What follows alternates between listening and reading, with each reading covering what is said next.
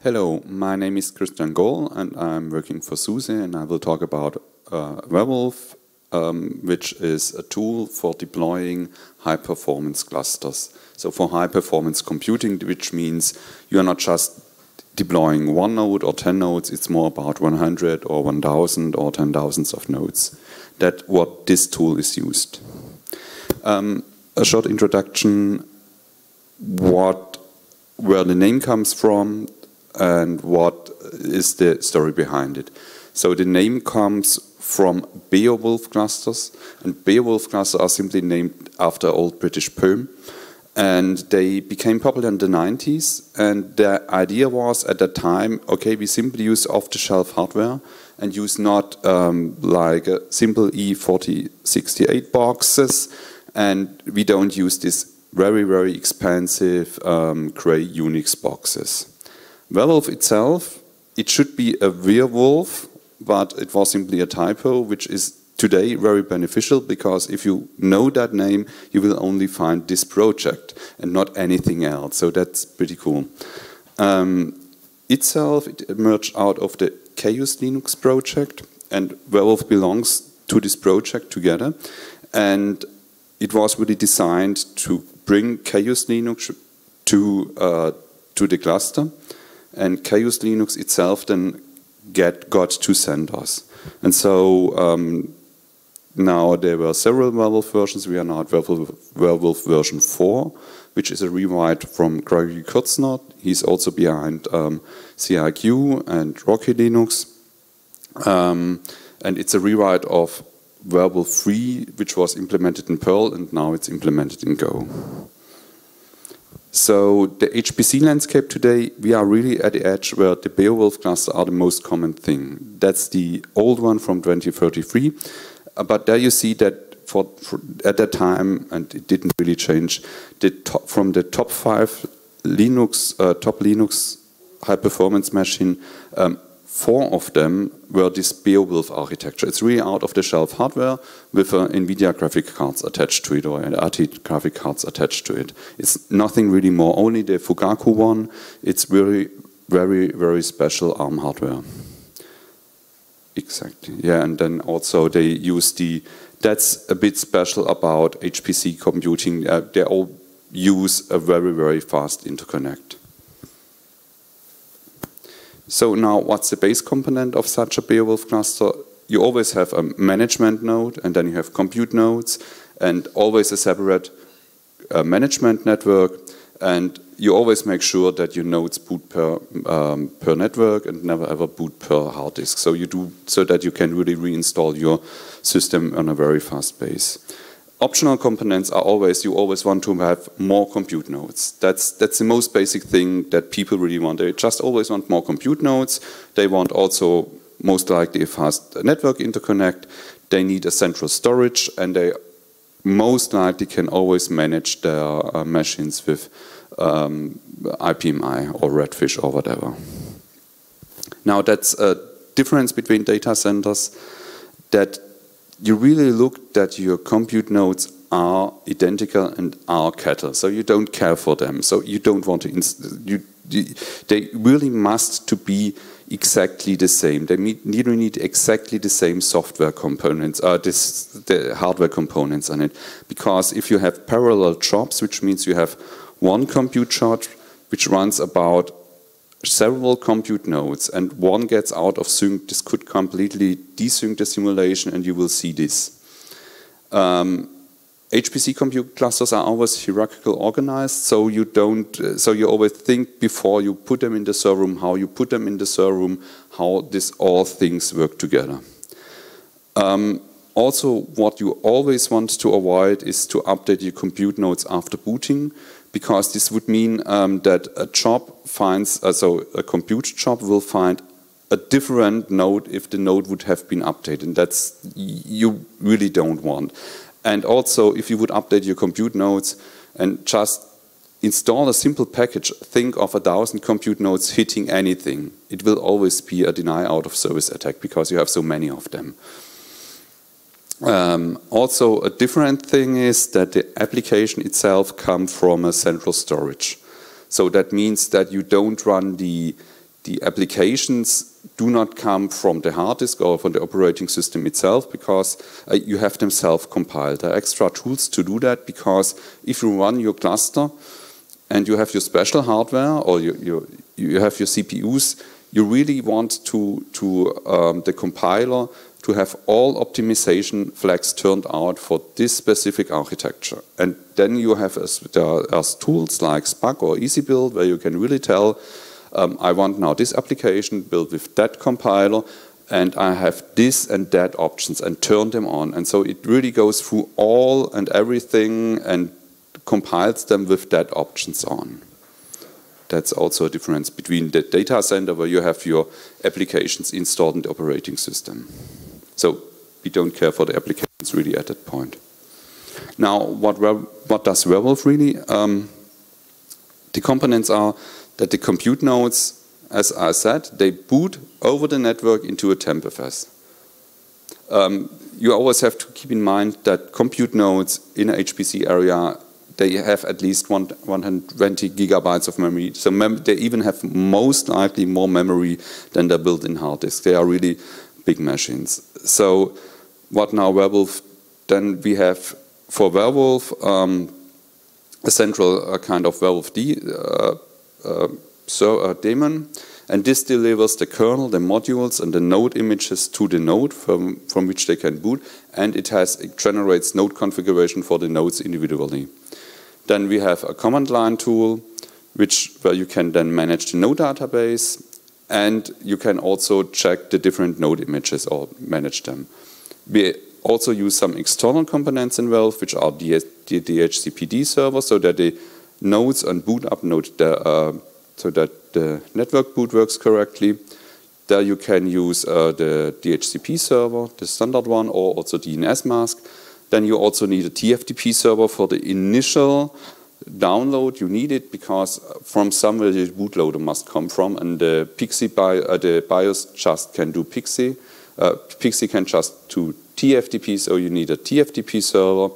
And also what Net uh, Warewulf can um, do for you is um, configure a central NFS and also manage your ETC hosts, which will then give you um, DNS. Now, what we really took care in the Warewulf project is that the central configuration database is really, really simple. It's just a, a simple YAML file, which you should not edit, but you can edit with external tools. This also means you can put a version control on it, because it's just a text file. You do not have to dump any database or anything like this.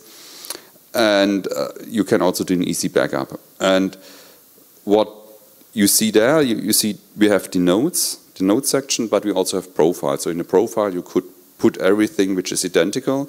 And ideally, a node itself just takes the different IP addresses it has because, as I talked before, compute nodes in HPC areas often have several network cards, not just one, but really just one for the management network and then one for the fast interconnect and perhaps even one for a special storage network. So that's very, very common that you have to set up several IP addresses at one.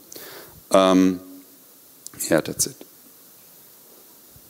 Now, that's now how do you configure your stuff. We have quite simple comments where you can add nodes, where you can modify nodes, you can list the nodes, and then you see where it all comes from. There you see, okay, it has ID. Um, I now here superseded, sub, so I set the comment just for this node, and it does not come from the profile. And for example, for the device, you see this is configured in the profile. Whereas, oh, that's cut, cut off, the IP address is farther down. This would not be set in the profile, but for the node individually. Um, what we also can do in Warewulf, we have configuration templates so that you can configure your nodes individually. This is based on the Go templating engine. So variables then are, so you just write the text file, what your configuration file should look like, and then the variables are replaced um, if you have them in the two curly brackets. You can also um, call functions inside the template, so if you have more complex things you want to do there. And then we have, then on boot time, we um, generate these overlays, so we generate these overlays, put them on top of the um, container or node image, so that the these things are then overwritten. That's exactly the thing. And there you see, for example, our etc issue, where we see, okay, when you boot up the node, then you want to see, oh, it has booted with that container, with that kernel version, and what are the network interfaces I'm, I'm seeing on this node. And yeah, here I added then also a new one that we have greetings from, and there you can then have see that you can have um, your own tags in your network if you want to configure your things, especially that you can say, okay, greetings here from Nuremberg. Um, that's exactly this. You can also have your own variables in the templates, which means that you can really do write complex configuration things in there, like configure your GPUs or things like this. Yeah. Um, what we also have in the Valve configuration, we just have we have the so-called system overlay, which is applied pre-boot, which means this carries all your important information, especially the network setup. You may ask why do you don't why do you don't use um, DHCP for that all? Because the reason for this, we must use it for the booting, but for the actual thing, it, the IP address will never ever change. So you don't want DHCP to just do anything there. So this means your network, you just have less jitter on your network.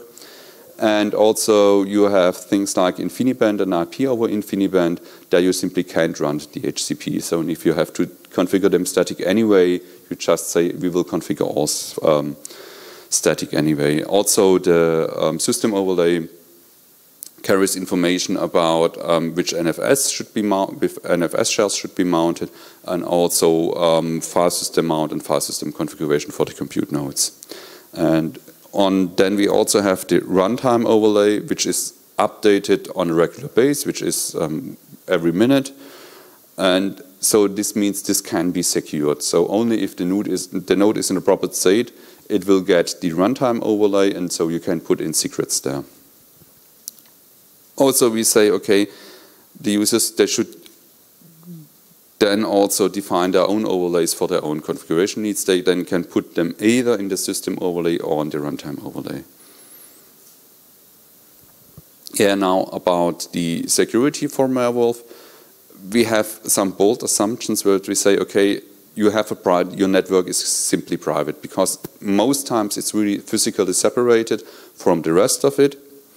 Um, we also say, uh, because, and if you worked in HPC environment, you know, there's NFS used all over the place. So if you assume, so there is always assumed that the network is kind of safe. What we now can do, we say, okay, the node and the, the node image and the system overlay do not contain really um, secure, uh, do not really uh, contain sensitive information. Um, whereas the runtime overlay. Um, this could contain sensitive information, so this is protected by the asset tag. So you set an asset tag in the BIOS, and only if you have that asset tag, you will uh, you can access the runtime overlay. Um, also, we have additionally, we say, okay, if you download your node image and the system overlay, this must come from a privileged port, so that not any user can download them. So. Um, now, what's really interesting about Warewulf is that you can um, that the, the container, uh, that's what actually is called container, or is the node image, that these are complete OS images. They are transported per OCI container, which means you download them really from registry.suse.com or registry.opensuse.com or any other registry. Um, but they are really complete, they have to contain a kernel.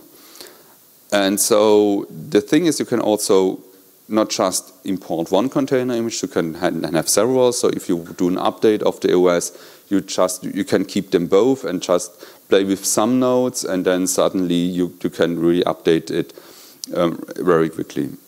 Um, and these node images is also quite important, are completely independent from the underlying OS.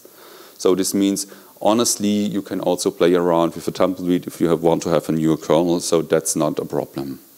So we have the we have our SUSE slash uh, SLE 50 and SP5 and SP6 image on, SUSE, on the registry.suse.com.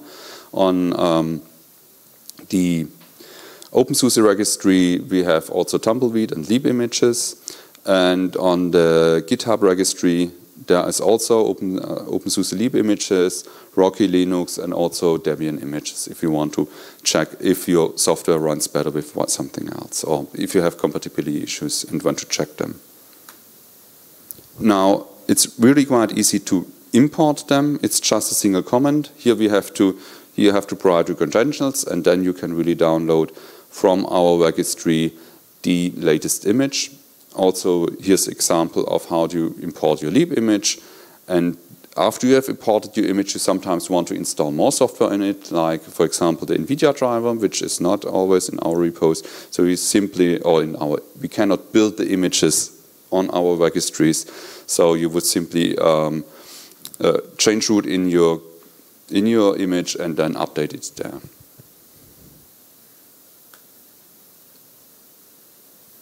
Um, that's now that's a, that's an extra slice. This is now relatively new. This was added that we can also uh, configure the disks uh, with Warewulf. This means you have to create, you have to just tell Warewulf how to, also how your disk setup look, should look like, and you have to install Ignition in this container so that on during boot your disks are really configured, formatted, and whatever. Yeah. That's now the examples of how to add a single partition. Also, swap is sometimes needed. Now, um, how we do boot with Warewulf. Um, this is now here the, the boot process. Um, most likely we boot uh, with Pixie, that's the old version, because um, this uh, they just used this for Caos Linux, and so they started. Uh, they will still they started to implement it with iPXE. We use the Pixie binaries, which are this distribution, and so this means we have to to get this small iPXE binary per TFTP to the node, and from that on we can then it then um, boot the rest then goes over HTTP, which is much, much faster.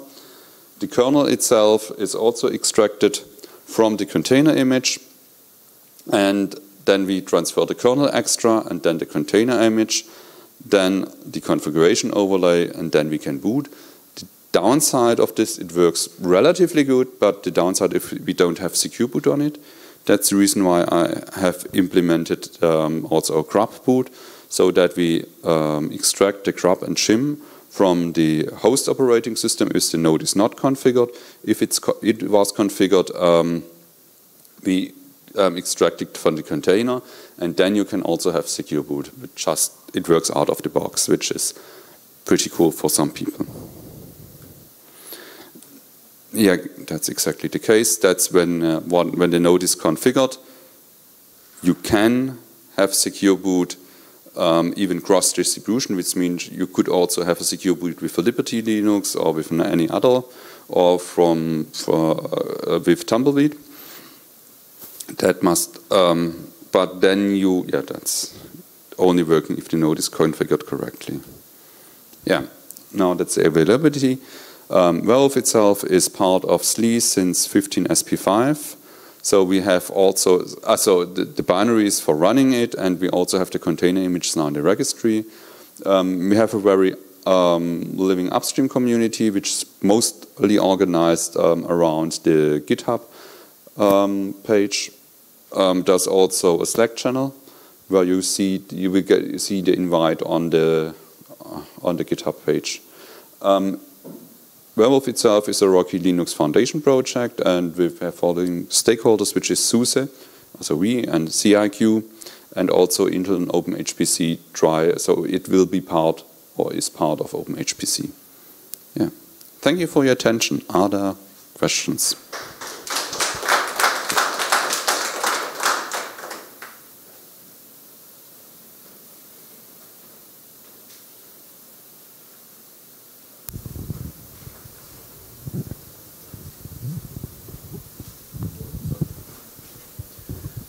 I just had a quick technical question. When you were talking about the OS images being uh, deployed as OCI images, as containers, you'd mentioned changing root into it and then modifying them. If it's an OCI image, can't you just use it in a Docker file? You can use the Docker file for import, but you could also say, okay, I have my own registry and you have your Docker file to, to create them, but that's way too complicated for most of the people because then you always have to rebuild, re-import it. The thing is you want to have to flat to have it flattened out because this people running HPC clusters are graybeard Linux admins. They don't like containers that much. Okay, I, am not surprised to hear that. It just seems like it's missing half the point, which is the ease of use of the tools. But yeah, the, the, the thing is, it's really easy. The, the, it's much easier not to really build it all on your way if you just can go into it with the minimal, with so that you have a booting image, which is then when you, you get a booting the, the image which can boot from the registry, and then you just your parts on top. You could also do it with a Docker file and then import it again, but that's not how people really want to use it. We should talk about this offline. I have some ideas in that space. Hmm? We should talk about this offline. I have some ideas in that space.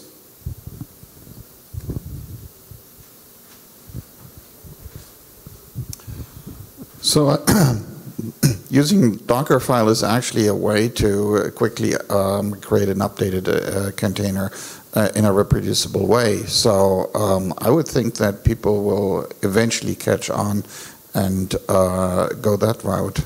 And I mean, that's easy to do, easy enough. Yeah, that's definitely a possibility I was looking into. It's just not so, uh, I, I just can fork myself and work on two things in parallel.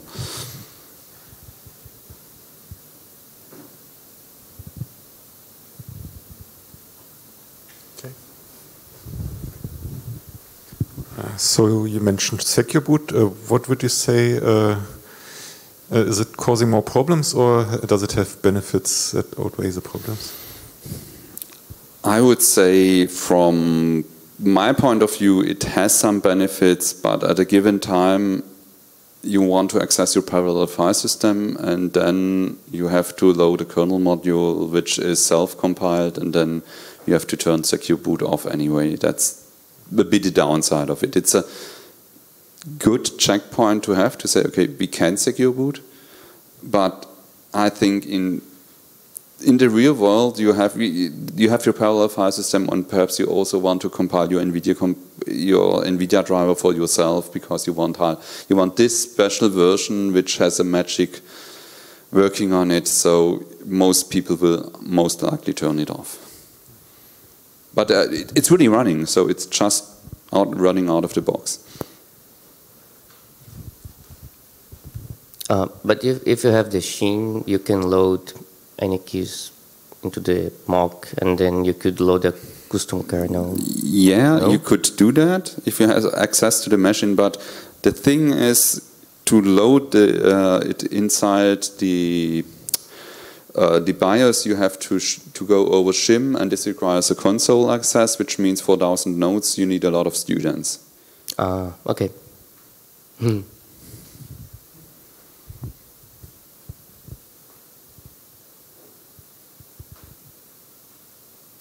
Okay, thank you.